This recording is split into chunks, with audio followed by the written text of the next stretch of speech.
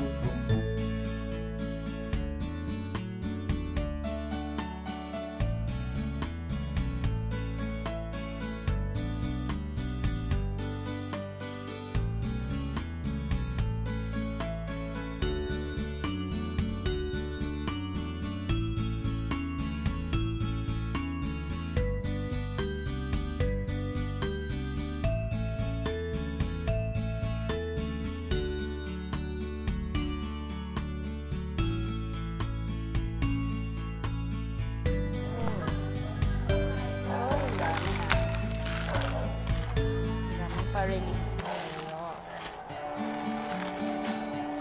Ang dami. Salamat po.